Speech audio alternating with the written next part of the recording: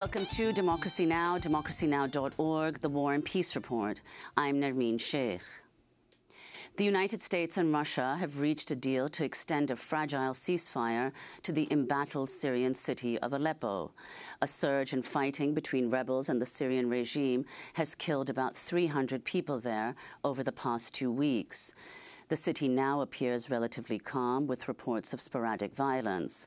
UN Undersecretary General Jeffrey Feltman condemned the recent attacks on area hospitals. Ever more shocking reports have been received from Aleppo City over the past two weeks.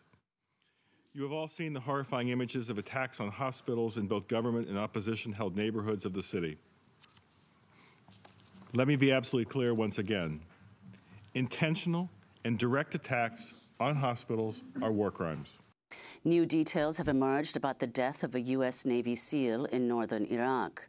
Video obtained by The Guardian shows Charles Keating, the fourth, was fatally shot amid an intense firefight with ISIS militants. The battle reportedly began when ISIS launched an attack on the town of Telskuf, disrupting a meeting between Navy SEALs and the local Kurdish Peshmerga. Keating was part of another group of SEALs sent in to help repel the attack. Amid a lengthy firefight, he was fatally shot in the side, then evacuated by helicopter before being pronounced dead. He's the third American killed in Iraq as part of the campaign against ISIS.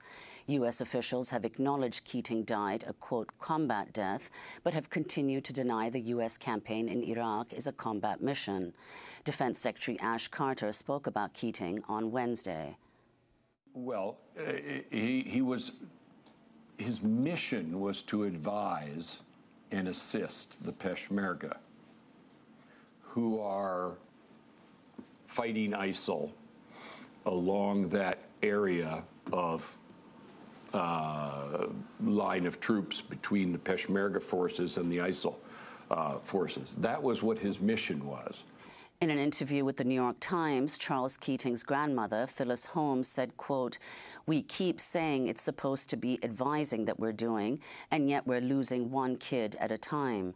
Even Defense Secretary Ash Carter said it was a combat death, and it was one hell of a combat death, she said. A U.S. Army officer has sued President Obama, saying the U.S. war against ISIS is illegal. Captain Nathan Michael Smith, who's deployed in Kuwait, says he believes the mission is justified but lacks proper authority from Congress. Quote, I began to wonder is this the administration's war or is it America's war? Smith said in the lawsuit. My conscience bothered me. Smith wants a U.S. court to tell Obama he must get approval from Congress for the war in Iraq and Syria. Ohio Governor John Kasich has dropped out of the Republican presidential race, all but sealing the nomination for Donald Trump. Kasich's campaign had initially said he would remain in the race after Texas Senator Ted Cruz dropped out following a loss in the Indiana primary. But Kasich reversed course on Wednesday. You see, I have always said that the Lord has a purpose for me as he has for everyone.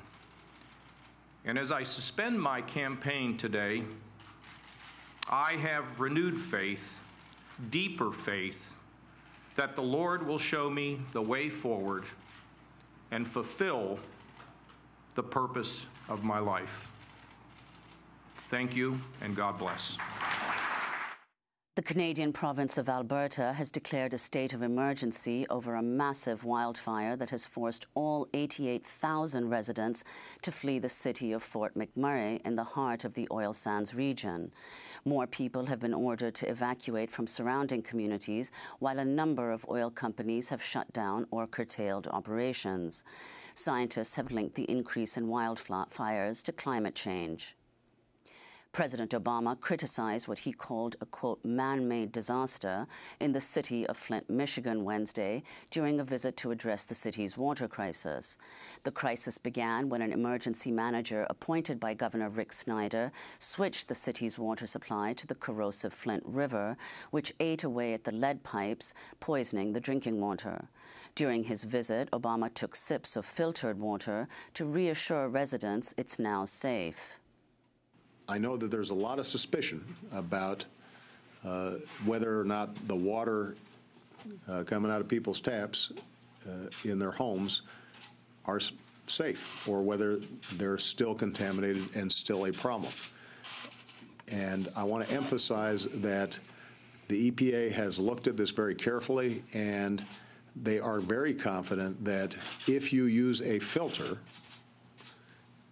then it is safe for kids over six.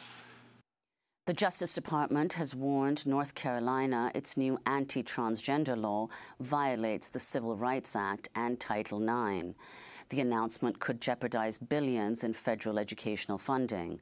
The department gave North Carolina until Monday to confirm it would not implement the law, which prevents trans people from using the bathroom that corresponds to their gender identity.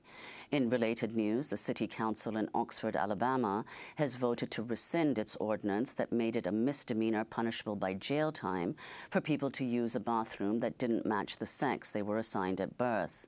And in Illinois, a group of families have sued a Chicago area school district for allowing a transgender student to use the girls' locker room. In Egypt, a court has sentenced human rights activist Sanaa Seif to six months in prison on charges of, quote, insulting the judiciary. Seif was summoned by a prosecutor on accusations of inciting protests against President Abdel Fattah al Sisi, but officials said she failed to comply with the summons. Seif is the sister of blogger Alaa Abdel Fattah, who has been jailed since February 2015 to see Democracy Now!'s interview with Seif in 2011 when she was just 17 years old, go to democracynow.org. Meanwhile, thousands of journalists rallied Wednesday to call for an apology and the ouster of Egypt's interior minister following a police raid on the journalists' union and the arrest of two reporters. Protest against President al Sisi reignited last month over his decision to hand two Red Sea islands to Saudi Arabia. Hundreds marched in Mexico Wednesday to mark 10 years since a brutal police raid on the town of Atenco. Current President Enrique Peña Nieto, who was then the governor of the state of Mexico, ordered the police raid on Atenco amid protests in support of local flower vendors. Two people were killed, 200 activists and peasants arrested, and more than two dozen women said they were sexually tortured. Activists continue to protest renewed plans to build a new airport in the area. Adan Espinoza of the People's Front in Defense of the Land spoke at Wednesday's march. There has not been any justice as the intellectual author Enrique Peña Nieto has not been held responsible for the beating, the injuries, the death, and the women who were sexually assaulted who have not received any justice, which is the most important thing. We have kept our word and will keep doing so, saying no to the new airport. We are not going to leave our land, and it will keep being our land at whatever cost. And an Israeli army general has compared modern day Israel to, quote, nauseating trends in 1930s Germany. The Israeli military's deputy chief of staff, Major General Yair Golan, made the remarks Wednesday evening on Holocaust Day, saying, quote, after all, there is nothing simpler and easier than hating the foreigner. There is nothing easier and simpler than arousing fears and intimidating. There is nothing easier and simpler than becoming bestial foregoing principles and becoming smug.